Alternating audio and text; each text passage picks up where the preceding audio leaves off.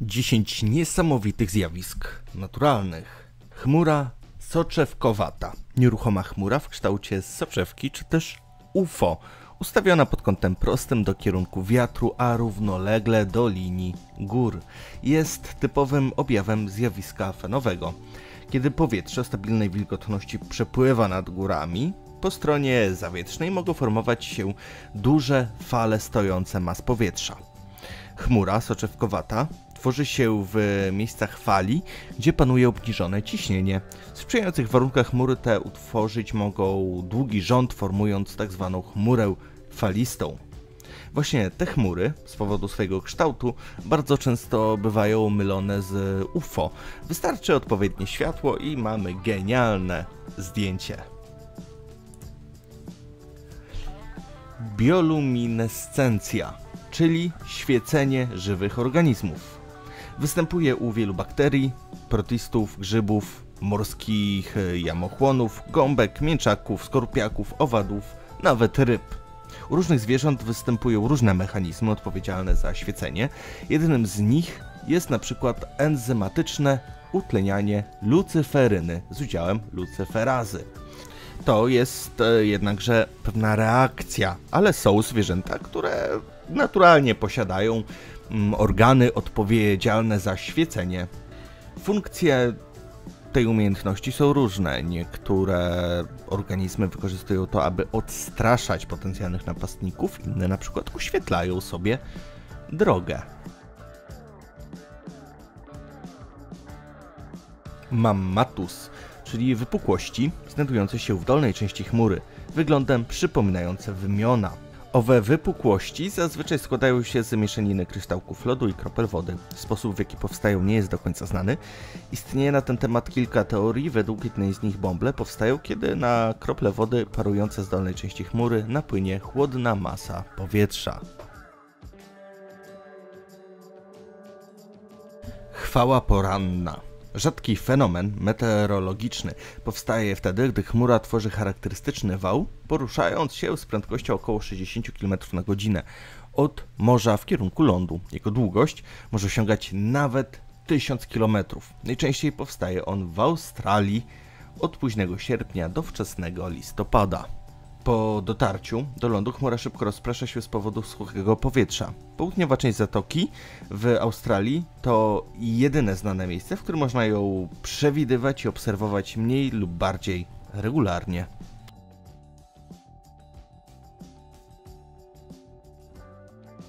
Słońce poboczne. Zjawisko występuje często po obu stronach Słońca, szczególnie dobrze jest widoczne, gdy Słońce jest nisko nad horyzontem. Im Słońce znajduje się wyżej, tym większa jest odległość słońc pobocznych od miejsca przecięcia się. Słońce poboczne są jednym z najczęściej obserwowanych typów halo.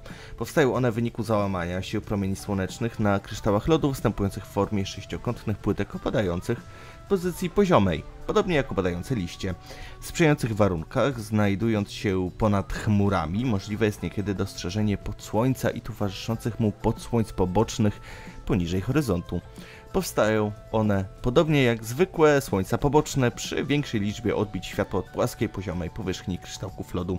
Zjawisko takie obserwować można także w przypadku halo powstającego wokół Księżyca. Piorun kulisty, bardzo rzadkie zjawisko, według relacji świadków objawia się jako świecąca i poruszająca się kula o promieniu od kilku do kilkudziesięciu centymetrów, czasami wydająca głos podobny do syczenia. Uważa się, że jest rodzajem wyładowania atmosferycznego. Naukowcy nie są zgodni co do określenia faktycznej istoty pioruna kulistego. Piorun kulisty wyglądem przypomina świetlistą kulę o średnicy od kilku do kilkudziesięciu centymetrów, poruszającą się w różnych kierunkach i wydającą dźwięki, takie jak warczenie czy syczenie.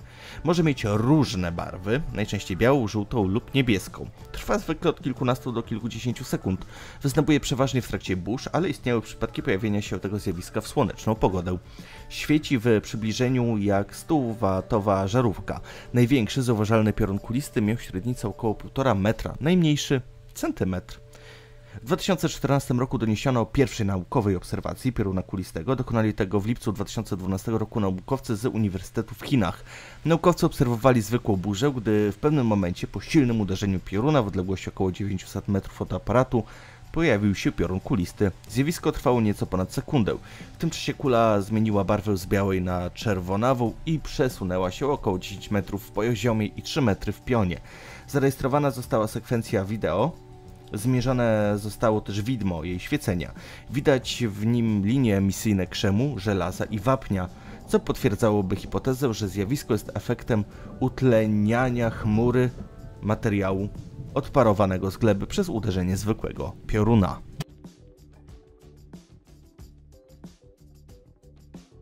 Wędrujące kamienie. Jest to zjawisko geologiczne, w którym skały poruszają się i pozostawiają ze sobą długie kolejny bez interwencji ludzi lub zwierząt. W jakiś sposób kamienie przesuwają się po Rectrack Playa, tworząc widoczne bruzdy. Eksperyment pokazuje, że ruch kamieni wymaga rzadkiej kombinacji zdarzeń. Po pierwsze, teren musi wypełnić się wodą dość głęboko, by uformowały się w niej kry, ale wystarczająco płytką, by wystawały z niej kamienie. Nocą, gdy temperatura spadnie, lód zamarza w taflę, a w ciągu dnia rozpuszcza się i pęka, tworząc kry, które przemieszczają się wraz z wiatrem i popychają kamienie, które zostawiają ślady w błotnistym podłożu. Na temat tego zjawiska pojawiło się kilka innych teorii, ale żadna do końca go nie wyjaśnia. Niektóre z kamieni ważą ponad 300 kg, co nasuwa pytanie, jak wielka musi być siła, która je porusza.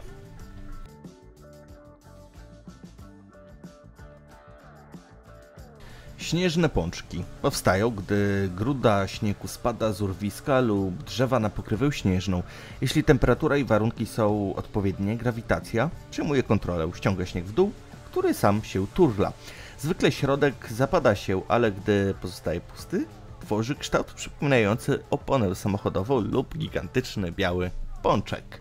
Żeby taki pączek powstał, muszą zaistnieć następujące warunki stosunkowo cienka warstwa wierzchnia luźnego, mokrego śniegu. Pod tą cienką warstwą śniegu musi znajdować się podłoże, które nie będzie się trzymać jak lód albo luźny śnieg. Wiatr musi być wystarczająco silny. Ewentualnie grawitacja może poruszyć wałkiem śniegu jak śnieżką, kiedy spadnie z drzewa lub klifu. Z powodu tego ostatniego warunku śnieżne pączki są bardziej powszechne w pagórkowatych obszarach. Zamarznięte bąbelki. Te cuda natury stworzone są z wysoce łatwopalnego metanu. Gaz emitowany przez bakterie spożywające martwą materię organiczną jest dość nieszkodliwy, ale te pęcherzyki mogą spowodować eksplozję jeśli się je podpali. Zjawisko powstaje, gdy wieczna zmarzlina na tym obszarze zaczyna topnieć. Materia organiczna zgromadzona na dnie jeziora zaczyna się rozmrażać, a drobnoustroje rozkładają ją, wytwarzając metan. Metan nie rozpuszcza się w wodzie, tworzy pęcherzyki, które wznoszą się ku powierzchni. Latem bąbelki metanu po prostu wyskakują z wody i dostają się do atmosfery, jednak zimą, gdy jezioro jest zamarznięte, zostają uwięzione w drodze na powierzchnię.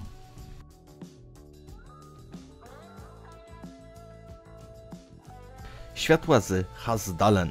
Światła z Hasdalen ukazują się jako jasno-białe lub żółte światła nieznanego pochodzenia, które poruszają się lub stoją w miejscu. Czasami są widoczne przez ponad godzinę. W Dolinie Hasdalen obserwuje się kilka innych rodzajów niewyjaśnionych świateł. Pierwszy raz odnotowano je w latach 40. lub wcześniej. Szczególnie wysoka aktywność miała miejsce w grudniu 1981 roku do lata 1984 roku, kiedy można było zaobserwować je 20 razy w tygodniu. Wielu turystów zatrzymywało się tam na noc, aby móc je zobaczyć. Od tego czasu aktywność spadła i światła obserwowane są około 20 razy w roku.